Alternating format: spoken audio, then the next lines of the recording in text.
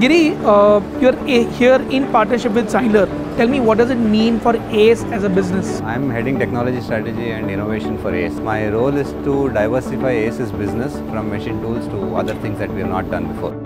The combination tech of the robot vision and the haptics, which makes the robot do things that like how a human does. This kind of tech, honestly, I have not seen before, and this is a game changer. So when we came across CynLr and uh, you know understood what it can do for machine tending, and we being the largest machine manufacturer in India, this is the reason you know collaborate with CynLr because firstly it can change the game Secondly, there is nobody else doing this. Today, if we have to provide an automation solution which involves a robot or any other machine tending solution, firstly, in a year, we cannot offer more than 10 or 15 solutions because everything requires custom engineering.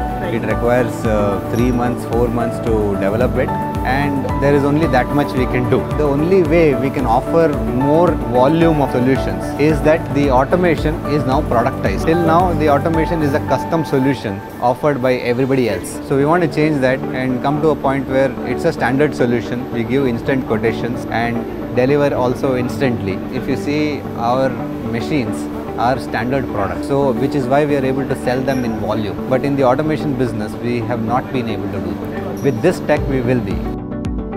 CynLr is a highly technical team. The founders have a great experience in the industry. At the same time, the rest of the team members are young and energetic. They want to prove something. That energy kind of rubs on us as well and want us to do things faster and do more. Actually, this particular solution we have to pick and choose the customer themselves. There are problems which have not been solved. There are customers who have robots all over their factory except one line because that cannot be automated. You need human. We go and attack those. That's when we will get the worth of this solution and for all the effort that CynLr has put and our whole partnership. The moment we are able to offer instant quotations, we are able to deliver the entire solution in two weeks. And when we are able to maintain a certain amount of inventory such that when the customer asks, we have things in place. That's the point where we will be ultra competitive and we will be ready. Overall, this collaboration with CynLr has been wonderful.